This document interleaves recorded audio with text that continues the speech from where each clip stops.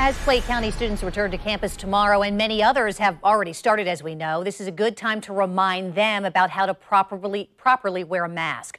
While it may seem simple, it's surprising to see how many people don't wear them correctly. Dr. Pauline Rolle is the director of the Duval County Health Department, joining us via Zoom this morning. Good morning. Thanks for being with us. Good morning. It's always a pleasure, Jen. And before we get into the proper wearing of masks, I do want to illustrate you joined us last week, and there is a direct correlation between proper mask wearing and contact tracing. So this is extremely important that our children are wearing these correctly because it could impact the number of people who could be exposed if they're not, correct?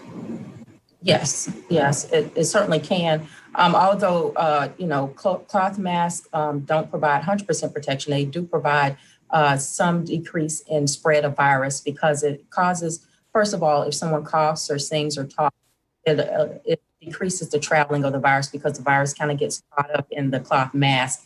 And so, yes, we see people wearing it like this, like this, like this, which is not a proper way to wear it. And, and most often, we see people wearing it below their nose, which is definitely not the way to wear that limits the protection for and, sure. And could you explain why that's so important? I am not kidding you, Dr. Rolle. I was at Academy getting some shoes for my daughter over the weekend, and I must have seen at least five people that were not wearing the mask correctly. And I'm not pointing out a particular store, but just illustrating the fact that this is a common problem everywhere. Yes, we certainly see it everywhere. And the whole point of the mask again is to is to keep me from spreading it to someone else if I happen to have COVID. And so if all of us are wearing our masks, it decreases the likelihood that any of us will get the virus. And so folks wearing it below their nose, which is often what we see, um, is not helpful because they can still breathe out that virus. Um, and I've seen people, you know, wearing it around their necks, on their chin, um, just because for them it's so uncomfortable. But we have to keep in mind the whole point is to prevent someone who has COVID from spreading the virus to others. And the more people who wear their masks, the less likely there will be COVID virus in the atmosphere and then we're all protected, we hope. So, does it matter yes. where you touch the mask when you're removing it or putting it on? Uh, so certainly it's important that so this is a basic mask that a lot of people have. It's important that you grab it by the ear loops. Um, you shouldn't grab it here.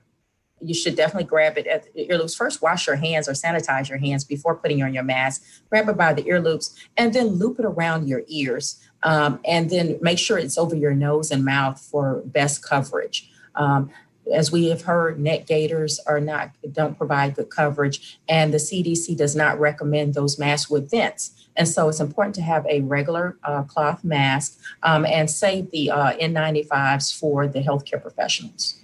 So, and and I think you just really touched on something that I think is very important because I see neck gaiters used, um, you know, quite frequently at schools or in stores that I visit. Uh, is there a certain kind of mask for parents who are trying to pick these out, knowing the kids are probably going to lose theirs at school, that they should be selecting for the best protection? So uh, there are a number of masks that have filters in them. Those uh, those do provide a measure of protection, or basic a basic cloth mask. For example, the mask that I'm showing you is a mask that was distributed by the Florida Department of Health, and these are certainly safe. Um, it's important that people wash their mask every day, not wear the same mask every day again, because the whole point is to trap those germs. And so you want to be able to keep that mask clean. And so it's important that people wash their masks every day. But a, a good sturdy cloth mask, one with a filter, is perfectly fine. Uh, if you're going to wear one with a filter, please make sure you change those filters as well. What is the best way for students to store their masks when they take them off to eat lunch? Ideally in a plastic bag. And so once they take the mask off, when they have the ear loops, they should fold it close and hold it at the end here and put it in a plastic bag and save it until after lunch. And ideally, again, at the end of the day, wash that mask every day. They need to make sure when they put the mask on, they're putting it back on correctly um, at the, the way they, um, so that the appropriate part is facing the face. Dr. Pauline Rolle, great information. Thank you for your time this morning with the Duval County Health Department. Appreciate it. You're welcome. Have a great day.